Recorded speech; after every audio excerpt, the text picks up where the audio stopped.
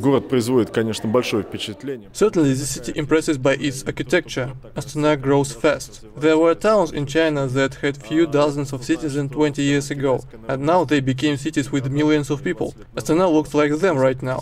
I haven't seen such growth in Soviet Union times. I was surprised to the fact that population of city is over 1 million people. Great efforts, money and love are applied for developing of this city. Tselinograd always has been a small town, and now it's a city of big opportunities. Chess exhibition was astonishing. Nobody was indifferent. It was a great impression. We liked it so much.